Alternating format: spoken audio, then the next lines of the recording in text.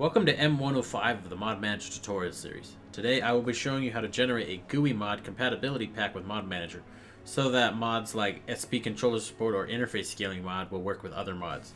In the past, you might have found that these mods don't work with other mods simply because of the amount of files they change and the other mods developer not knowing how to develop a compatibility pack. As of Mod Manager 4.2.3, I've built support for building one of these compatibility packs into Mod Manager, and you, as an end user, can generate one of them yourself. But before we start, what you need to do is you need to install all of these conflicting mods, as well as the conflicting GUI mods such as Interface Scaling Mod or SP Controller support.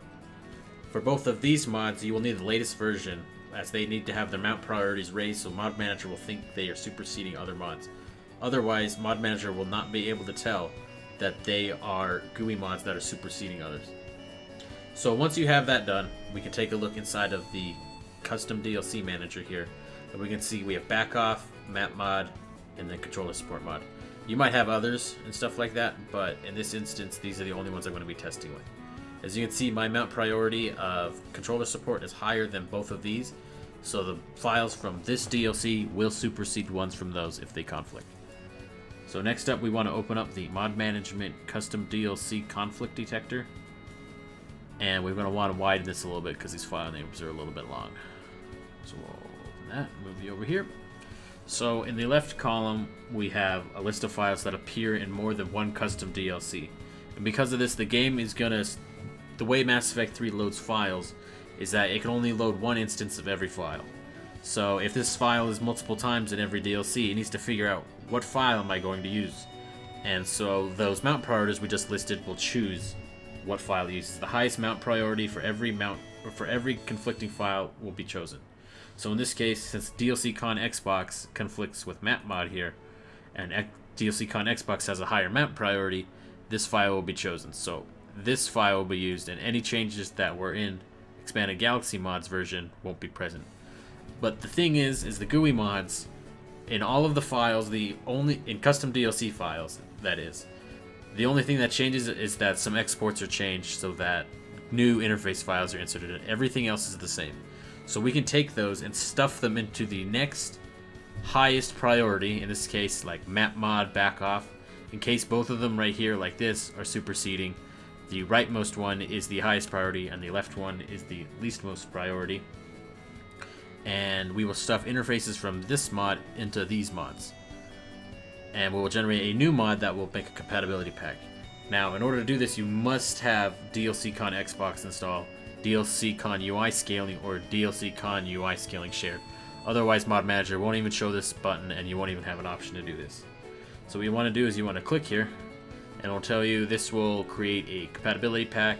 It will be generated only against what's currently installed. So if you update any of the other mods, you need to regenerate this.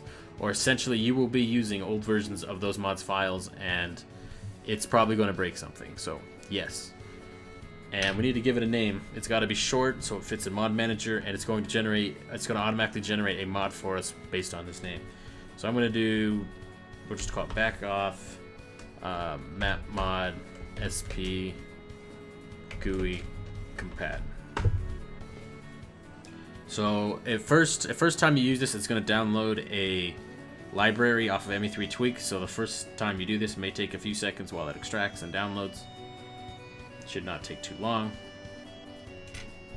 And then once it starts, it will start extracting resources out of Mod Manager and generate a starter kit, and then it will place the new files into this starter kit.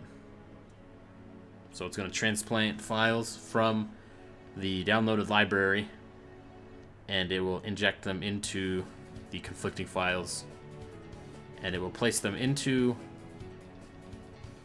the new DLC mod that was just created. So we will look at BOMMSP GUI compat. So you have DLCCon BOMMSP GUI compat. Just like that. And all you gotta do is hit apply. It's installed. And now what you will have is you have a new entry here. Essentially what's going to happen is it's going to anything that isn't in this mod will be used from here. Anything that's not in this mod will be used from here. Anything that's not in this mod will be used from here. And since this mod takes files from these two mods, Essentially, you're leapfrogging the files in here and using these ones, but with the right interfaces installed. And that should allow you to use the interface scaling mods with other mods. Now, I need to be clear about this.